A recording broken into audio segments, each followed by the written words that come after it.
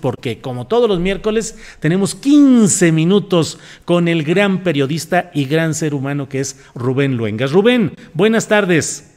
Muy buenas tardes, hora que te esté. Muy buenas tardes, Julio, ¿cómo estás? Bien, Rubén, gusto en saludarte. Adelante, por favor, ¿qué me comentas? Ahora que te estaba yo escuchando hablar del queso y de hoyos, me acordaste del queso Roquefort.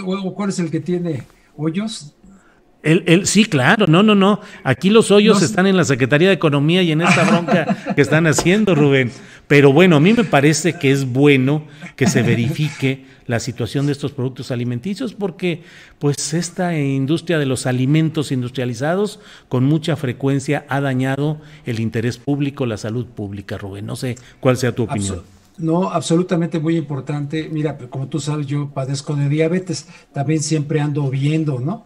Este, las etiquetas y tal. Y sí mienten muchísimo en esto de las etiquetas.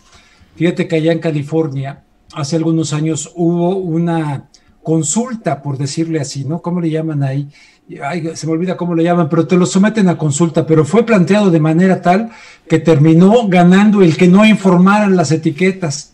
Ya hubo una queja tremenda, no, se tiene que informar cuidadosamente, pero también tienen que informar sobre un elemento que está en todo lo light, el espartame. Julio, hace una investigación sobre el espartame, es nefasto el espartame. Lo ponen en, las chicles light, en, los refrescos light, y, este, y en Estados Unidos hay gente que ha investigado y el espartame es tremendo, tremendo. Entonces, eh, que nos pongan también, este producto contiene espartame, este, y que lo pongan grandote, pero a mí me parece estupendo, no sé por qué se están quejando. Escuchaba yo de la polaca esta de, sí. de, que puso ahí, qué tiempo de irse por la cosa de las quesadillas. Sí. Pues, pues bueno. Bueno, Rubén, ¿de qué quieres hablar en esta ocasión? ¿Qué tema quieres abordar? Ya sabes que son 15 minutos con Rubén Luengas y tú nos dirás de lo que quieres abordar en este día, Rubén. No, claro que sí. Y si me paso un minuto que sepa tu audiencia, me regaña, ¿eh? no, no, hay tolerancia absoluta, el tiempo que quieras, Rubén. No, tolerancia absoluta. Mira, me llama muchísimo la atención eh, que en los Estados Unidos, en el pasado debate, entre el señor Donald Trump y el señor Biden, en esta democracia sin democracia, porque a fin de cuentas quienes financian a ambos partidos políticos son los mismos, quienes hacen las donaciones para que lleguen legisladores al Congreso son los mismos. Y cuando llegan al poder, evidentemente tienen que pagar los, los favores de toda esa recaudación de dinero que se les da a las campañas presidenciales, que se les da a las campañas de legisladores, que se le da a todo mundo. Por lo tanto, pesa más ya decir, cuestionar para muchos la democracia estadounidense hoy por hoy es como, uy, sacrilegio. Pero por favor, o sea, una, eh, un partido republicano que se corrió aún más a la derecha y un partido demócrata que se corrió al lugar ideológico que antes ocupaba el Partido Republicano, tenemos dos partidos de derecha y como decía Gore Vidal, hay un solo partido, el del poder y el del dinero, eh, con dos alas que se pelean por conducir la nave y esas dos alas son derechas, el republicano y el, pero como está salido de madre, como dicen los españoles, el Partido Republicano sí está albergando a lo más extremo de la ultraderecha norteamericana o estadounidense. En ese sentido, la revista Newsweek publicó hace unos días, se lo mandé el artículo a Adriana, eh, publicó que el grupo de los Proud Boys, los muchachos orgullosos, a los que se refirió Donald Trump durante el debate pasado, diciéndoles eh, retrocedan y esperen, estén alertas, estén pendientes. En pleno debate, pues es un grupo evidentemente de ultraderecha, están armados, eh, supremacistas blancos y que están dispuestos a todo con tal de defender al señor Donald Trump. ¿Qué dijeron en la revista Newsweek que reproduce Newsweek? Dijeron que si Donald Trump no gana las elecciones el próximo 3 de noviembre, que va a haber guerra civil en los Estados Unidos. La gente podrá decir que exagerado, que amarillista, bueno, reclámenle a estos señores, reclámenle a Newsweek, pero lo, la verdad es que analizando el tejido social de los Estados Unidos y lo que ha venido ocurriendo de cara a las elecciones, con los asesinatos de afrodescendientes, con actitudes de la policía, con el banderazo de salida que les dio el señor Donald Trump para que salgan del closet los supremacistas, pues, eh, negándose el comandante en jefe de las Fuerzas Armadas, negándose en el, debate a condenar el supremacismo blanco. Y hace cuatro años, cuando una de las principales simpatías que captó Donald Trump fue del ex jefe del KKK, del Ku Klux Klan, bueno, eh, evidentemente, eh, y teniendo a un señor como Chris Kovac, Chris Kovac, que los mexicanos tendrían que saber quién es Chris Kovac, es el arquitecto de la ley SB 1070 de Arizona, pero sobre todo también el arquitecto de la idea del muro en el señor Donald Trump y un hombre que ha recibido dinero a través de fundaciones que están vinculadas a aquel viejo programa de la eugenesia en los Estados Unidos, la construcción de una raza superior.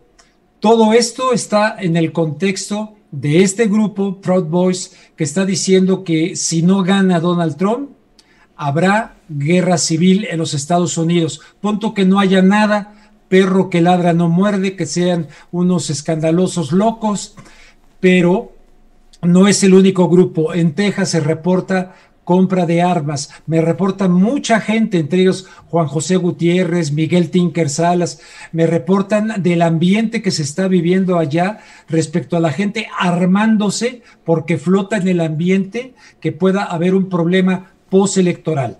Le agrego a esto, tanto en Colorado como en West Virginia hay una serie de ranchos, establecimientos que se llaman fuertes. El dueño de esto es un ex militar de los Estados Unidos que proporciona alimentos para años, todo lo necesario para vivir, porque les han vendido la idea de que, bueno, antes de esto, eh, el coronavirus. Y antes del coronavirus, ya ves que desde chiquitos en Estados Unidos, en el contexto de la Guerra Fría, les vendieron la idea de los búnkers, ensayos de ataques nucleares, en fin. En esa línea, están proliferando de este tipo de centros para servir como búnkers, como refugios, donde la gente pueda vivir hasta por años. Y ahora están vendiendo como pan caliente en estas propiedades por el hecho de que advierten un ambiente de violencia en los Estados Unidos antes o durante el día de la elección o después de la elección y que pudiera llegar a durar meses o años. Eh, simple y sencillamente comparto esto porque si se diera un escenario de esta naturaleza, yo creo que no va a ocurrir así, pero allá sí lo están creyendo. Pero vamos a suponer que se diera ese escenario.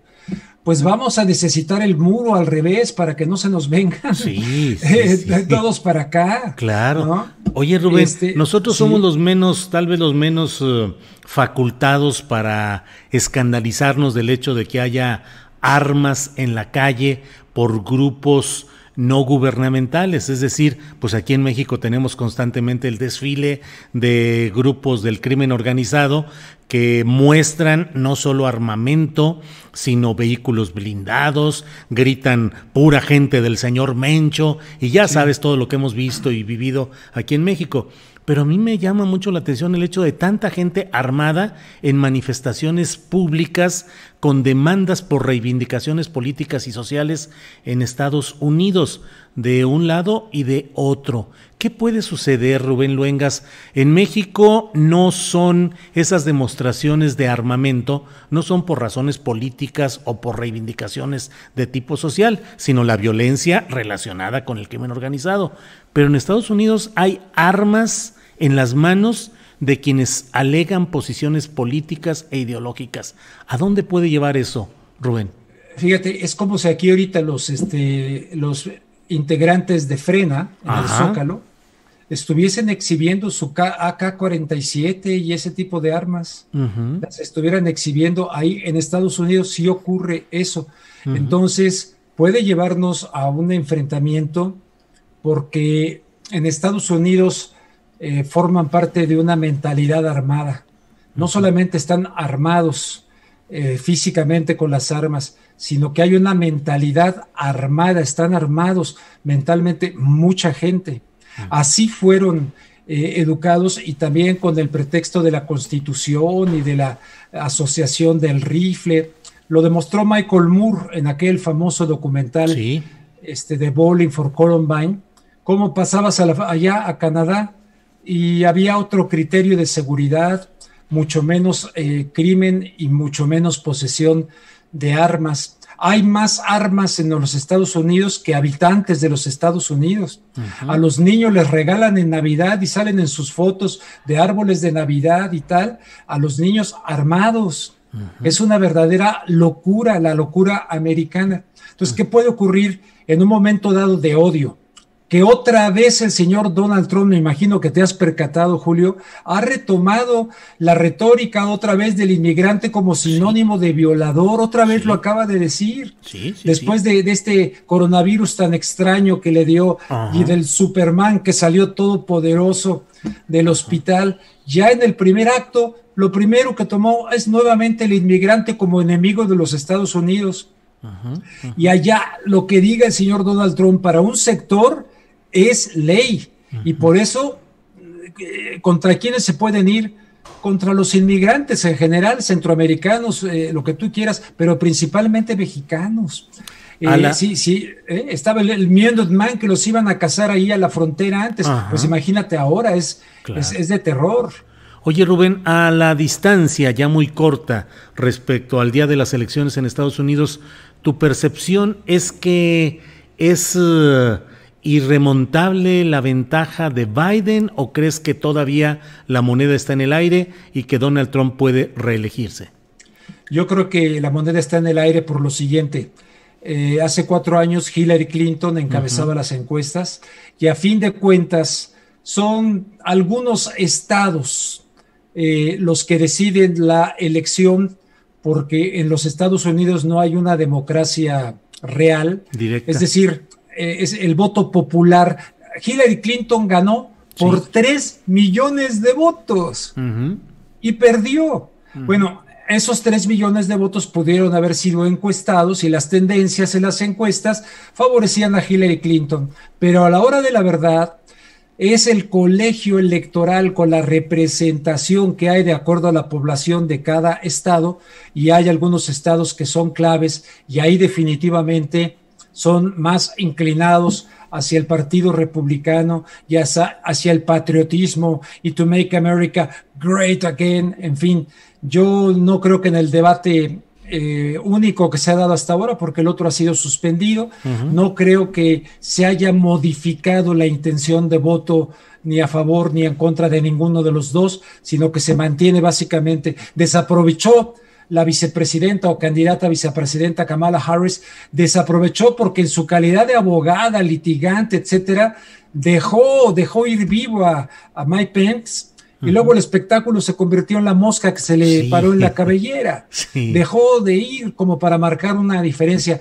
Pero lo verdaderamente grave para mí es eso. Está agotado el sistema político norteamericano bipartidista. Los dos partidos discuten del aborto, del matrimonio gay, de una serie de cosas. Pero en el núcleo duro de la hegemonía norteamericana imperial están totalmente de acuerdo. Entonces, pero yo creo que todavía Donald Trump pudiera dar la, sorpresa dependiendo pues de cómo se dé el voto no popular, sino el voto en el colegio electoral.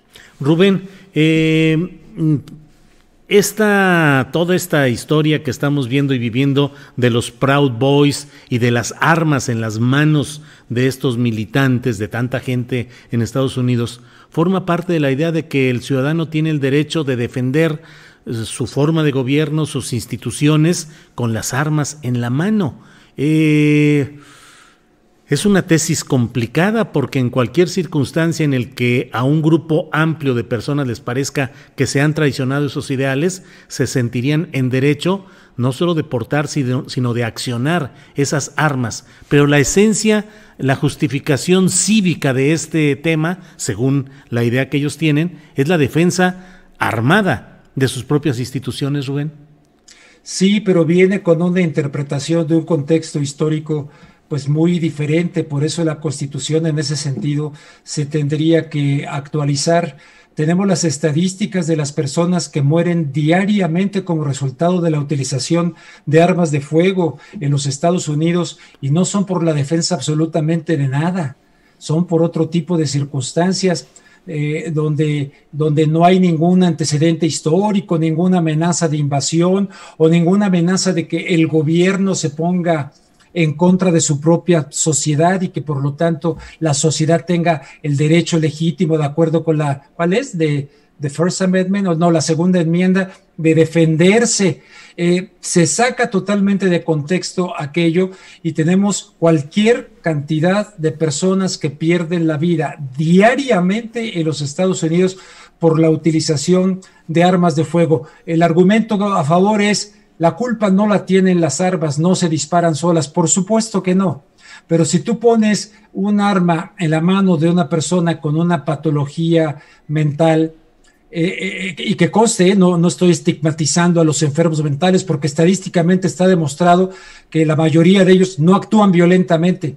Pero, por ejemplo, Donald Trump sí cambió esto que había invitado Barack Obama a que no ocurriera y es que se le pueda vender armas a una persona con enfermedad mental. Dentro de la enfermedad mental sí existe la tipificación de grupos que tienen tendencia a la agresión, que están dispuestos a agredir inmediatamente. Entonces, una persona así, armada y con algún problema de distorsión de la realidad, etcétera, lo hace sumamente peligroso. O sea que es un tema muy, muy delicado y este y a ver qué ocurre con este contexto electoral. Ojalá que se serenen los ánimos y que prevalezca lo que dice la democracia más importante del mundo. Pues no, ya hemos tenido fraudes electorales bananeros, como el que ocurrió en el 2000 que gobernaba en Florida el hermano de George Bush y que terminó con un recuento ahí, que terminó en la Suprema Corte de Justicia la decisión, o hace cuatro años dentro del mismo Partido Demócrata, cómo le hicieron trampa a Bernie Sanders dentro del mismo Partido Demócrata, de manera de un fraude bananero.